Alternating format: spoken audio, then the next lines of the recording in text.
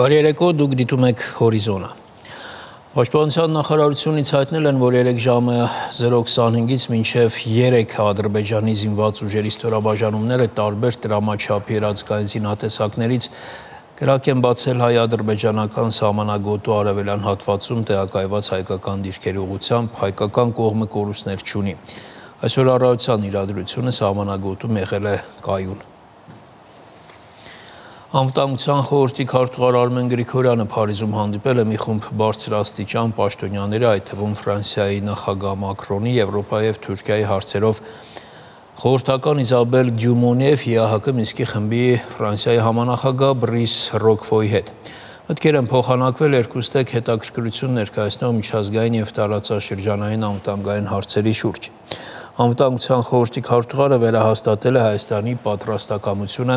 նպաստելու մեր տարածաշրջանում անվտանգային միջավայրի ապահովմանը։ Զրուցակիցները գոհունակությամբ ընդգծել են վերջին շրջանում առավել ակտիվացված Հայաստան-Ֆրանսիա երկկողմ հարաբերությունների զարգացման դինամիկան։ Պայմանավորվածություն է ձեռք բերվել շարունակել տարբեր ոլորտներում երկկողմ հարաբերությունների զարգացման ուղղված երկխոսությունը։ Արցախի մարդու իրավունքների պաշտպանի դիտարկումները ցույց են տալիս, որ Ադրբեջանի զինված ուժերի ահաբեկչական գործողությունները ուղղված Արցախի խաղաղ բնակչության գյուղատնտեսական աշխատանքներ իրականացնող քաղաքացիական անձանց դեմ համակարգված եւ հետեւողական բնույթ են կրում։ Այս մասին Armen Press հետ զրույցում նշել է Արցախի մարդու իրավունքների պաշտպան Գեգամ Ստեփանյանը, ընդգծելով, որ խաղաղ բնակչության նկատմամբ ոտնձգությունները ահաբեկելու եւ բնականոն կյանքը խաթարելու նպատակ ունեն։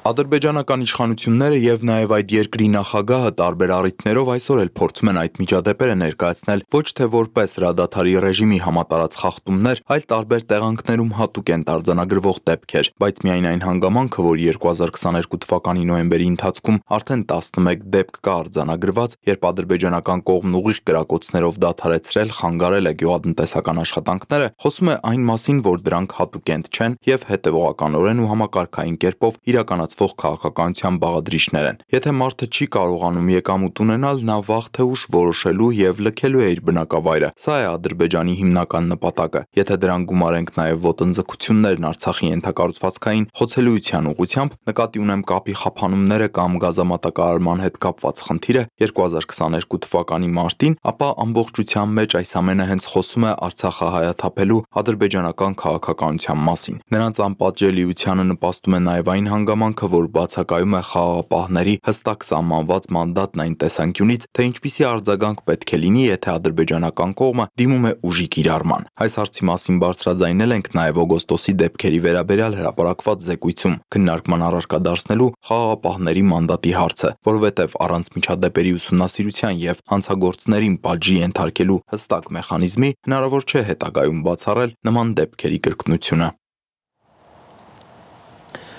Ադրբեջանը Պրահայում համաձայնել է շարունակել հանդիպումները քարակոմ ձևաչափով, այս մասին Twitter-ի իր միկրոբլոգում գրել է Հայաստանի հատուկ հանձնարարություններով դեսպան Էդմոն Մարուկյանը։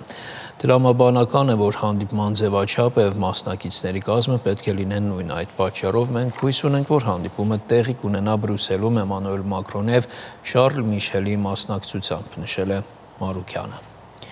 Նոյեմբերի 28-ից Հայաստանի զինված ուժերի գլխավոր շտաբի պետ պաշտպանության փոխնախարար Էդվարդ Տասերյանը ուսումնական տարվա արդյունքների ամփոփման շրջանակներում նախաձեռնել է ենթակա զորամիավորումների զորամասերի համալիր եւ բազմակողմանի ստուգումներ։ Դրանց նպատակը մարտական պատրաստականության, պատրաստության կառավարման համակարգի եւ զորքերի ապահովման վիճակի գնահատումն է։ Հանրապետության նախագահ Վահագն Խաչատուրյանին իր հավատարմագրերն է հանձնել Հայաստանում Նոր Զելանդիայի նորանշանակ դեսպան Սարա Մերի Ուոլշը։ Նախագահ Խաչատուրյանը շնորհավորել է դեսպանին նշանակման կապակցությամբ հույս հայտնել, որ այս նշանակումը կնպաստի երկու երկրների միջև փոխշահավետ համագործակցության զարգացմանը։ Քննարկվել են հայ նոր զելանդական համագործակցության ոլորտները եւ հնարավորությունները զրույցի ընթացքում Հանրապետության նախագահը անդրադարձել է հայ-թուրքական եւ հայ-ադրբեջանական շփումների ներկայիս մակարդակին եւ վերահաստատել, որ Հայաստանը հավատարիմ է հարևան երկրների հետ բարիդրացիական հարաբերություններ հաստատելու եւ կայուն ու հարատև խաղաղության հասնելու իր դիրքորոշմանը։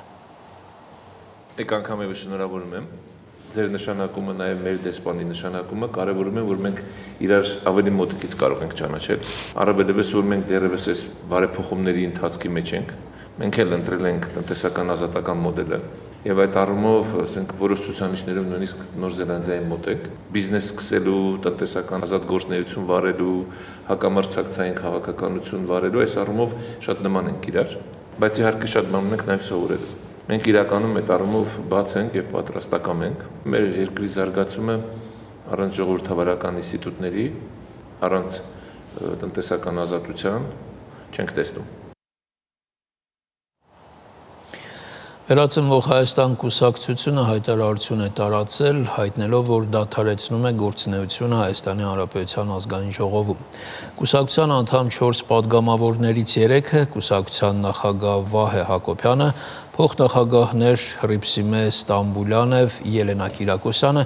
դիմում են ներկայացրել իրենց մանդատներից հրաժարվելու մասին։ Վերացնվող Հայաստան Կուսակցության անդամ Զենֆիրա Միրզոևան, ով 8-րդ գումարման ազգային ժողովում ներկայացնում է Հայաստանի ասորական համակը եւ խորհրդարան է անցել ազգային փոքրամասնությունների համար նախատեսված քվոտայով կշարունակի падգամավորական գործունեությունը սեփական դիմումի համաձայն ժամանակավորապես սառեցնելով կուսակցությանը իր անդամակցումը ասվում է հայտարարության տեքստում Միաժամանակ նշվում է, որ կուսակցության այն անդամները, որոնք ներկայացված են Դաշինքի նախընտրական ցուցակում падգամավորական մանդատի ստացման հերթը հասնելու պարագայում ազատ են որոշում կայացնելու հարցում, վերցնել մանդատը թե ոչ։ Մանդատը վերցնելու դեպքում տվյալ անձինք պետք է լքեն կուսակցության շարքերը։ Կուսակցությունը հայտնում է, որ այս որոշումը երկար քննարկումների եւ խորհրդի անդամների կոնսենսուսի արդյունք է։ Վերացնվող Հայաստան կուսակցությունը շարունակելու էր գործունեությունը դիմադիր դաշտում։ Իսկ ազգային ժողովի Հայաստան խմբակցությունը հայտնել է, որ վերացնվող Հայաստան կուսակցության գործընկերների հետ ունեցել են անկեղծ քննարկում եւ տեղյակ են որոշումից։ Հայաստան խմբակցությունը արցանագրում է, որ համատեղ քաղաքական նպատակադրման եւ սկզբունքների մեջ ոչինչ չի փոխվել եւ հարգանքով են վերաբերվում գործընկերների որոշմանը։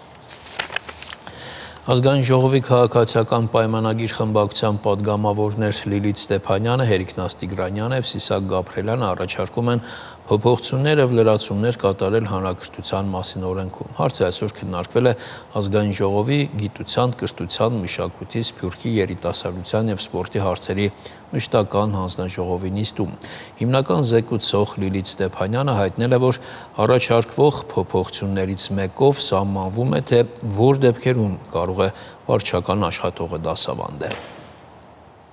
Ինչպես գիտեք, ուսումնական հաստատություններում արկա մի շարք խնդիրներից է նաև ուսուցչի թափուր տեղը չհամալրելու հարցը, սակայն ոլորտի բարեփոխումների համատեքստում այս խնդրին ցանկացած լուծում տալը ընդունելի չէ, ինչպես կառավարության եւ պետական լիազոր մարմնի, այնպես էլ կարծում եմ շահագրգիռ բոլոր կազմակերպությունների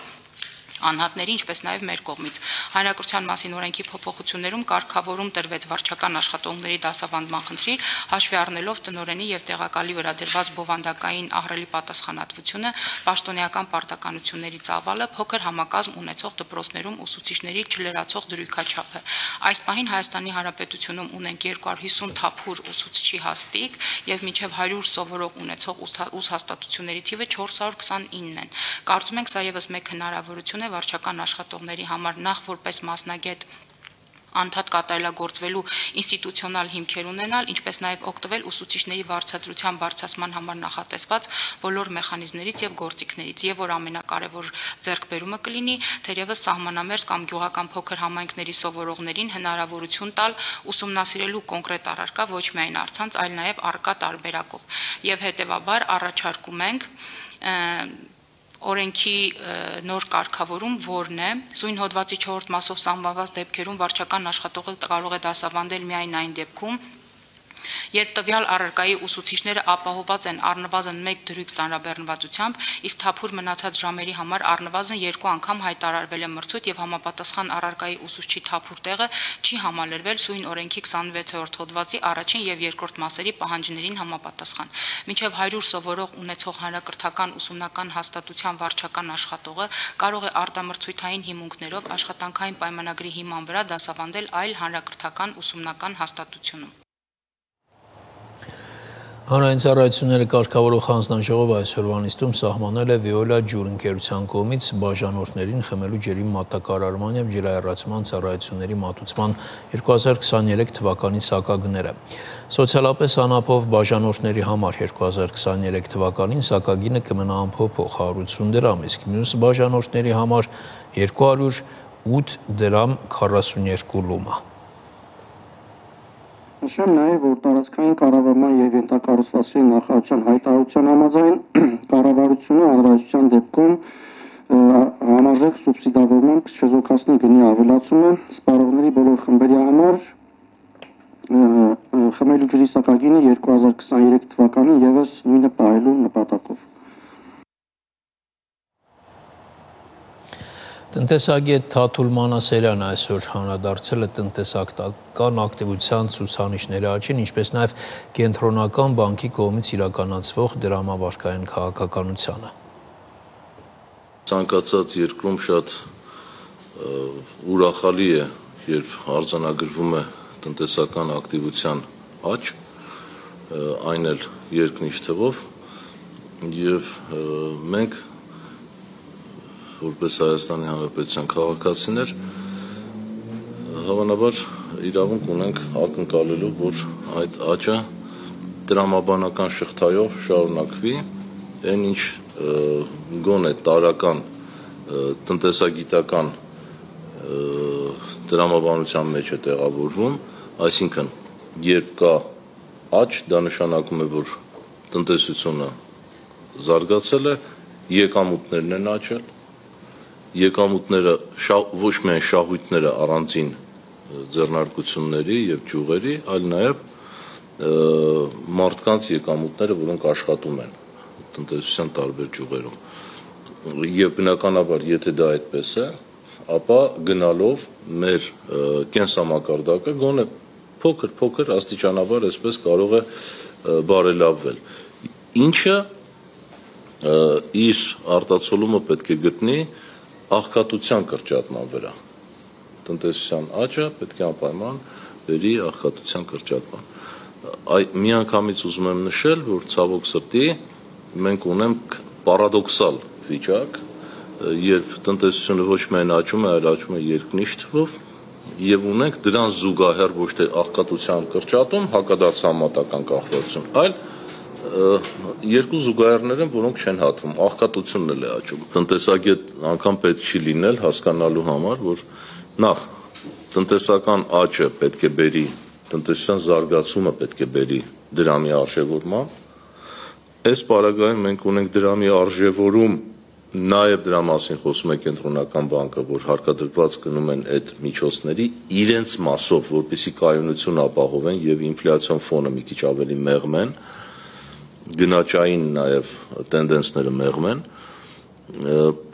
մենք ինչ պետք է ունենայինք այլապես եթե բնականից լիներ ասենք դրամի արժևորում պետք է ունենայինք նախ եւ առաջ գների անկում